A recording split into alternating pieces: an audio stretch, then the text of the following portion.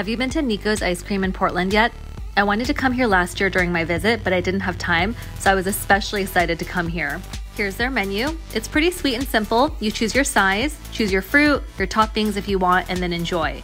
I didn't really know what to expect when I walked in. I had expected to find a fridge with tubs of ice cream, but when I didn't see anything, I was so confused. But after ordering, I realized what was going on. They basically just scoop vanilla ice cream into this cool machine, add in fresh frozen fruits, and blend the ice cream right here. It was so cool. I got the Marionberry on a cone, and the ice cream here blew me away.